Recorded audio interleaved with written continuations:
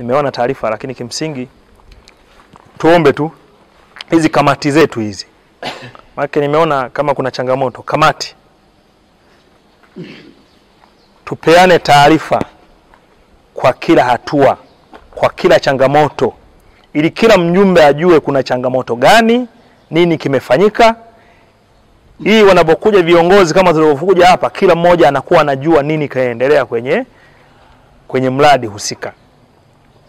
Na mimi niwaambieni, Mheshimiwa Rais wa Jamhuri ya Muungano wa Tanzania, mama shupavu Samia Suluhu Hassan aliamua kuzileta hizi fedha kwenye maeneo ama kuzileta site akiwa na sababu, akiwa na sababu. Kwa nini fedha zimeletwa huku? Kuna sababu za fedha kuletwa huku direct, kuletwa kwenye akaunti ya shule ili mradi uende kuenda sawa sawa. Kama mradi unakwenda tofauti, maana yake utakwenda tofauti kwa hizi kamati zetu hizi, kwa sababu sisi ndio wahusika na fedha zitakuweko huko. Kwa hiyo nadhani jambo hili kufanyika la kuleta fedha hizi, maana yake kila mjumbe wetu ajue nini kinaendelea, aifahamu BOQ, afahamu taratibu za manunuzi, kitu gani kimenunuliwa kwa fedha kiasi gani isiwe isibaki tu kwa viongozi wale, si viongozi nani, wajumbe wote wa kamati tupeane taarifa. Na mimi niombe sana tufanye hivyo. Fedha hizi Mheshimiwa Rais wa kata zileta alileta kwa ajili ya kuondoa changamoto ya watoto kupata mazingira mazuri ya kujifunzia.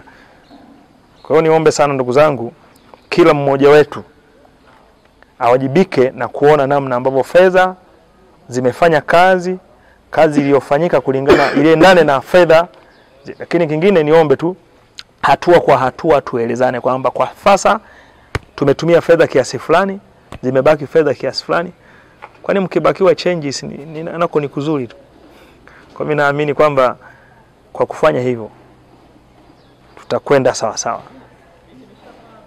Kwa hiyo milango ijulikane inanunuliwa kiasi gani nti na vyote vilivyoko hapa kwa bei gani, ili kumbukumbu zikae sawa sawa.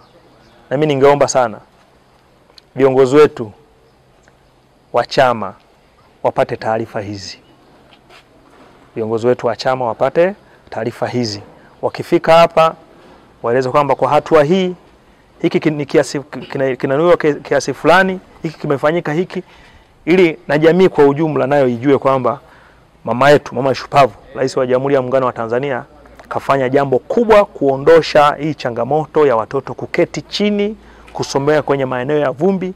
Sasa tumeondoka huko, sasa tunatumia malumalu tena, ni eh, kisasa zaidi, vyoo sio kama huko ambako tulikuwa zamani, tulikotoka huko miaka ile tumesomea kwenye makuti. Sasa katika hali hii, ili tuonyeshe kwamba tumezipokea hizi fedha na kuzitendea haki, ni jambo la msingi sana, ilikuwa ni hilo.